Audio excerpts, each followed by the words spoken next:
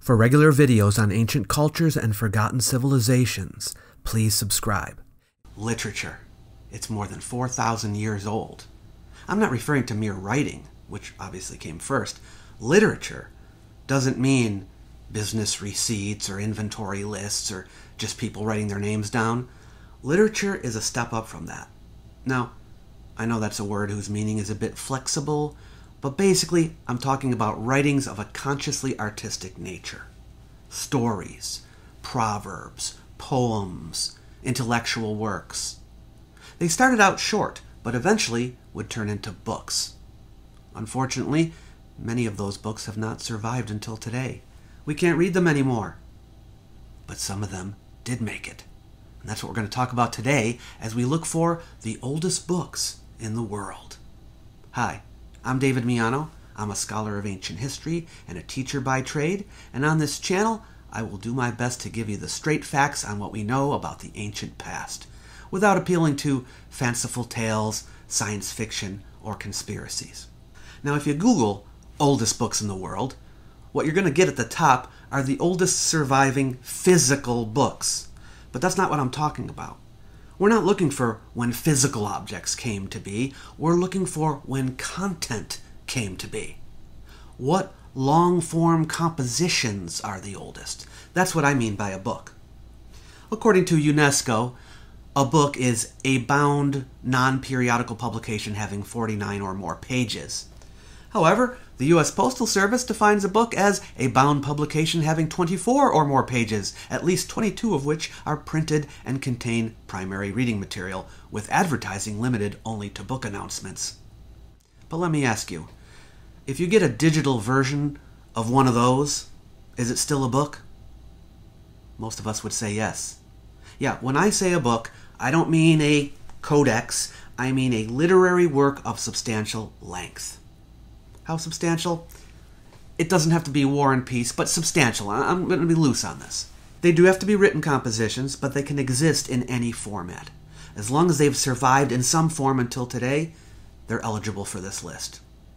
To make this more interesting, I'm going to divide the world into six major regions and give you the oldest books from each region. That way we get a taste from everywhere. The regions are East Asia, South Asia, West Asia, Africa, Europe, and the Americas. And I hate that I have to say this, but please remember that this is not a competition. Having the oldest surviving book does not make one country better than another country or one people better than another people. For anyone wondering, yes, I commonly do get comments of that sort whenever I uh, cover a first of topic. But many factors come into play with the survival of books. Sometimes it's just luck, and nobody alive today had anything to do with the writing of any of them. And perhaps it's worth mentioning that by covering this topic, I am in no way suggesting that writing cultures are superior to oral cultures. Yes, I do believe that there are better and worse ways of transmitting information, but the value of a culture or a people is not determined merely by how they pass on knowledge without consideration of anything else. So, what is the oldest book from East Asia? As you might guess, in East Asia, it's China that has the oldest surviving books, but even though China had writing early on, surviving books are not as old as we might like, because of a significant event that occurred during the reign of the first emperor Qin Shi Huang in the 3rd century BCE. That would be the book burning. Yes, the emperor ordered the destruction of all books that he felt were subversive, and that was a lot of them, particularly those written by Confucians, apparently. Following the fall of the Qin dynasty, it is believed that many books that he had preserved were destroyed in the fighting that ensued. Anyway, a series of Confucian books called the Five Classics, believed to have been compiled and edited by Confucius himself, were reconstructed from whatever had survived.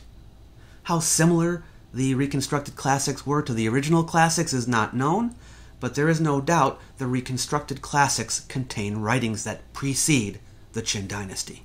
Oldest among them, and this is the one that tops the list for East Asia, is the Shijing, or Classic of Poetry, which is an anthology of poems that were composed in the Western Zhou dynasty period, between the 11th and 7th centuries BCE.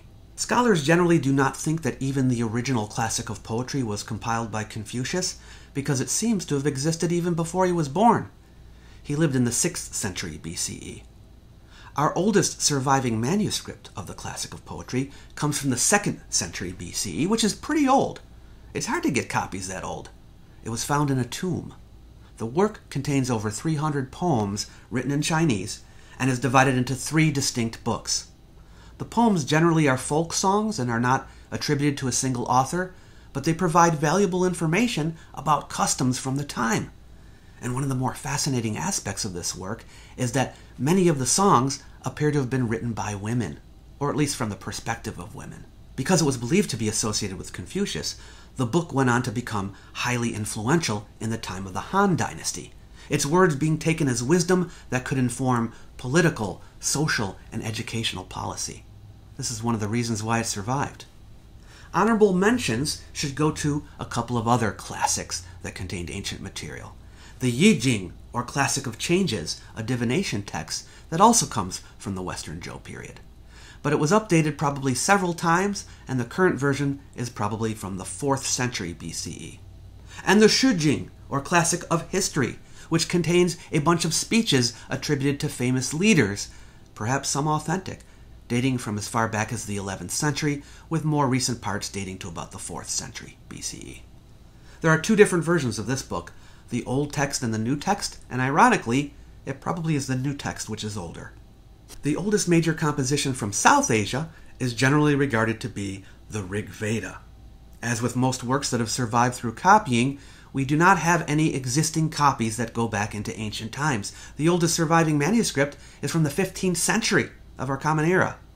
Now, the Rig Veda was expanded several times, and in its current form, it has four main components the Samhita, the Brahmanas, the Aranyakas, and the Upanishads. It's the Samhita that is the original book, the oldest part, written in an early form of Sanskrit, and it is a collection of songs. The Samhita itself is made up of 10 books, and even it was updated. Books 2 through 7 comprise the original work. So when did that original work first come out? Well, that's the thing. The date is uncertain, but there are a few clues that help us out a bit. For example, the technology depicted in the text is Chalcolithic, copper and stone. That places it in the period from about 2000 to 700 BCE. Can we narrow it down further than that? Yes. We can often date texts by the language, just as we might be able to distinguish the English spoken 500 years ago from the English spoken today, so we can with other languages too. Linguists place the language of the Rigveda Samhita in the approximate period 1500 to 1000 BCE. I'm well aware that there are some fringe hypotheses that the Rig Veda is much older than this, but I'm giving you the scholarly consensus among experts, both Western and Eastern, on the subject. This is what I always do. It should be noted that, as in the case of the classic of poetry, songs of the Rig Veda Samhita were likely composed orally before being written down into a book. I would be remiss not to mention the oldest surviving book from southern India, the Tolkappiyam. It's a grammar book written in Old Tamil. It is part of a collection called Sangam literature. The date of this book is even more difficult to narrow down than the Rig Veda. It too contains additions. Legends place it thousands of years into the past, but the earliest that scholars have placed the original version is the 3rd century BCE. Its current form is from the early centuries CE. One of the things to remember about ancient texts and their survival is that if they are written on perishable materials, which most books are, then the only way that they're going to survive is if someone copies them out onto new perishable materials. So the texts that have tended to survive are those that were deemed worthy to be copied over and over again. The five classics in China survived because they were used by Confucians, who continued to copy them, and the Vedas in South Asia continued to be copied because Hindus valued them. We have a different story when it comes to West Asia. The oldest books there are rather older than the ones we've discussed so far, but they did not survive because they were copied. Oh no. In fact, they were lost to history for a long time. But they were written on clay tablets, and these tablets do not perish as easily as paper, so they survived, buried in the ground, until archaeologists discovered them. We have found literary works from the time of the early dynastic period in Mesopotamia, and the earliest known almost complete literary work is the Instructions of Shuruppak, containing proverbs. But it isn't really long enough to be considered a book. For that, we have to go to the work called the Enmerkar Lugalbanda cycle. It consists of four stories written on four tablets. These stories feature Enmerkar, the king of Uruk, and his successor Lugalbanda. The stories fall into the genre we call historical epic, as they are poetic and recount the exploits of legendary figures from the past. The four tales are Enmerkar and the Lord of Aratta, Enmerkar and Esukeshtana, Lugalbanda and the Mountain Cave, also known as Lugalbanda 1, and Lugalbanda and the Anzu bird, also known as Lugalbanda 2. Because of the condition of the tablets, there are a few parts of these stories that are not possible to read, but mostly this book has survived. Our earliest copies come from the Isin Larsa period, around the 20th to 18th century BCE. But scholars believe it was probably composed in the earlier Ur III period, around the 22nd to 21st century BCE. When it comes to writings on tablets, it's not always easy to figure out if different tablets are part of the same book. It could be argued that Enmerkar Lugalbanda is simply four separate stories, though they clearly are related and continue one from another. So if your assessment is that these do not form a single book, we have to go forward a little to get to the earliest known, definitely long form composition, and that is something you may have heard of the Epic of Gilgamesh. Based on earlier tales about Gilgamesh, the king of Uruk and son of Lugalbanda, the epic itself was composed in the Old Babylonian period, around the 18th century BCE. It was titled at that time Shutur Elishari, surpassing all other kings. There also is a later standard Babylonian version, which is longer, titled Shanakba Imuru, He Who Saw the Abyss. It dates to between the 13th and 10th centuries BCE. The Old Babylonian version is incomplete, but we have most of the standard Babylonian version. It is the one you will find translations of. It consists of 12 tablets. Okay, so now we move to Africa. And as you might guess, the earliest writings there come from Egypt. And as with West Asia, the writings have survived not through the copying process all the way down to today, but through archaeological discovery. But in this case, they are not on clay tablets, as in West Asia, but these particular writings were written on walls, the walls of tombs. Does wall writing count as a book? If so, then our oldest Egyptian book would be the pyramid texts from around the 24th or 23rd century BCE. The pyramid texts, as their name suggests, were written on the interior walls of pyramids during the time of the Egyptian Old Kingdom, beginning at the end of the 5th dynasty. The texts contain prayers, spells, and other sacred utterances that were intended to help the spirits of the dead king move from the tomb to a resurrected existence. The earliest version is in the Pyramid of Unas, but the longest version, containing over 2,000 columns and lines, is found in the Pyramid of Pepi I. No two versions are exactly alike, though they have many common passages. The pyramid texts from the Old Kingdom would develop into the coffin texts of the Middle Kingdom, which in turn would develop into the Egyptian Book of the Dead in the New Kingdom. From the same time, we have another contender, and that would be a completely different type of text the autobiography of Weni the Elder. Yes, autobiographies are a common feature of Old Kingdom tombs beginning in the 5th dynasty, but sadly for us, not in kings' tombs.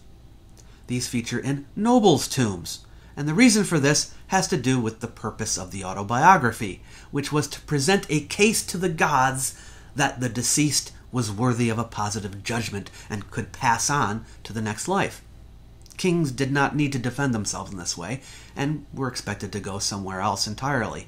Many of these autobiographies are short, but the autobiography of Weni is the longest ever found and can be said to be of book length. It was written in his mastaba tomb at Abydos and recounts his long career under the kings Teti, Pepi I, and Merenre of the 6th dynasty. It's probably our most important historical inscription from the time. But if you are looking for an actual published book from Egypt, read by many, we need to go a little bit further. Most ancient Egyptian writings were made on papyrus, but papyrus, as you may guess, is perishable and is not likely to survive unless copied. Popular papyrus writings were copied in dynastic Egyptian times, but they became lost to time later. We're fortunate, however, to have found some papyrus writings that were protected underground in tombs in Egypt's dry climate. The oldest book of this sort is the one we call the Precepts of Ptahhotep. The oldest preserved manuscript we have of it is the Prisse Papyrus, which dates to the 12th dynasty of the Middle Kingdom. However, we think the book was composed earlier, perhaps as early as the 6th dynasty, circa 2000 BCE. This is a book of wisdom containing proverbs and moral instructions. It purports to be the work of Ptahhotep, a vizier of King Isesi of the 5th dynasty, who was legendary for his wisdom. But scholars think the attribution is more for effect than historical accuracy. This book has survived complete. So now we get to Europe, and the oldest surviving books we have come from the Greeks. Although we have records from the Mycenaean times, there are no extant books. You might be able to guess what the oldest are. They have survived until today through copying. These are the works of Homer and Hesiod. Homer, if he was a real person, and there is some doubt about that, and Hesiod are estimated to have lived between around 750 and 650 BCE. Homer was a bard, and he is the composer of the Iliad and the Odyssey. But he did this orally, so they were not books right away. In his day, there were other epics composed by others, and they too were set in the time of the Trojan War. But those other epics have not survived. Only Homer's have. And this is because his were considered the best and therefore worth preserving. In fact, it's believed that the Greek alphabet was invented just so that the Iliad and the Odyssey could be preserved. Bards had memorized these works after the original composer had died, but they knew if they didn't get them down in writing, they probably would not survive. They wrote down the other epics too, but somewhere along the line, they just didn't continue to be copied. Hesiod was a poet, and although he wrote many books, the two books of his that we still have are Theogony, which describes the origins of the gods and their accomplishments, and Works and Days, part agricultural manual, part moral guidebook. And now we get to the Americas. We know that the Maya of Mesoamerica were illiterate people, and before the Spaniards arrived there, they had written books of history, genealogies, mythology, medicine, and flora and fauna. Unfortunately, none of these pre Columbian books have survived, except for four manuscripts. They are known as the Maya Codex of Mexico, the Dresden Codex, the Paris Codex, and the Madrid Codex, the final three being named for the places that they ended up. They all appear to have originated in the Yucatan Peninsula. The first, the Maya Codex of Mexico, formerly known as the Grolier Codex, is the only one still residing in its homeland. It is the oldest of the three and dates to between 1021 and 1154 CE. It is an almanac on the movements of Venus, but it is incomplete. The Dresden Codex, which dates to the 1200s, is the second oldest it is mostly a treatise on divination and astronomy and is 78 pages long, so this is our oldest complete book. The Paris Codex, largely a ritualistic and astrological text, and the Madrid Codex, devoted to horoscopes and almanacs for determining agricultural and religious activities, were both written probably between 1200 and 1450. Honorable mentions should go to the Popol Vuh, a mythological and historical text written by the Quiche Maya around 1550, and the books of Chilam Balam, nine chronicles written by Maya scribes in Yucatec in the 17th and 18th centuries. All of these books contain stories from pre Columbian times, but they show Spanish and Christian influence as well. So there you have it, the oldest surviving books from around the world. If you would like to add any to this list that you believe deserve mention, please do it in the comments below. If you liked the video, please give it a thumbs up, and if you liked it a lot, a super thanks would be much appreciated. You might like my little e-booklet, Why Ancient History Matters. It's designed to persuade people that the subject is important, even in the modern world. You might also wish to use it to help spread the word. So feel free to share it with someone you know. It's free for anyone who wants it. I've left a link in the description box below the video for you to grab a copy. Catch you later.